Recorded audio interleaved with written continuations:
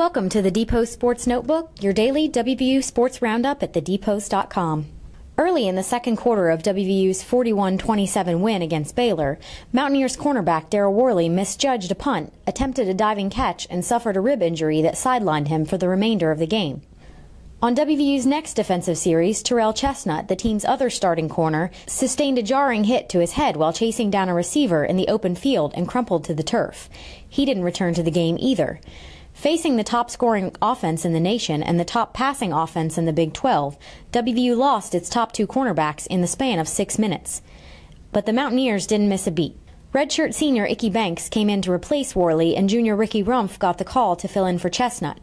Baylor quarterback Bryce Petty tested the newcomers as they entered the game, but both proved to be up to the challenge. Banks finished with one tackle and a pass breakup, while Rumph made six solo stops. The cornerbacks were key to holding Baylor's offense to season lows in scoring, passing yards, and total yards. I can't say enough good stuff about Ricky Rumph and Ickey, WVU defensive coordinator Tony Gibson said. Those guys did a great job. It kind of screwed up our nickel and dime packages when Worley and Chestnut went out, but guys just kept stepping up and making plays when we needed them. It's unbelievable the way they stepped up and performed. The WVU baseball team tied Marshall 8-8 in exhibition action Sunday at Hawley Field. With the Mountaineers trailing 8-6 entering the bottom of the ninth inning, second baseman Sean Corso hit a two-out, two-run double off the left field wall to tie the game. Left fielder Kyle Davis began the rally by getting hit by a pitch, then shortstop Taylor Munden hit a two-out single up the middle. Munden finished the afternoon 3 for 5 with 3 runs, 1 home run, and 1 RBI. First baseman Jackson Kramer was 2 for 3 with 1 run and 2 RBIs. Center fielder Sean Wood had 2 RBIs.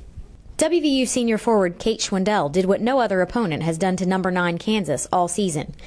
She scored twice in one game, and the number 13 ranked WVU women's soccer team pushed its unbeaten streak to 12 matches with a 2-0 win Sunday against the Jayhawks at Rock Chalk Park.